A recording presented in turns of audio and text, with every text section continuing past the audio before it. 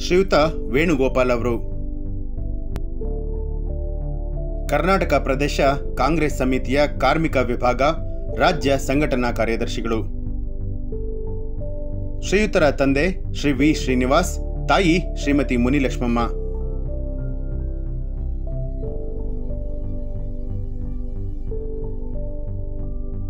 ಕೋಲಾರ ಜಿಲ್ಲೆಯ ಕೋಲಾರ ತಾಲೂಕಿನ ಬೆಳ್ಳಂಗೆರೆ ಗ್ರಾಮದಲ್ಲಿ ವಾಸವಾಗಿದ್ದು ಹರಟಿ ಗ್ರಾಮ ಪಂಚಾಯಿತಿಯ ಸದಸ್ಯರಾಗಿ ಕಾರ್ಯವನ್ನ ನಿರ್ವಹಿಸ್ತಾ ಇದ್ದಾರೆ.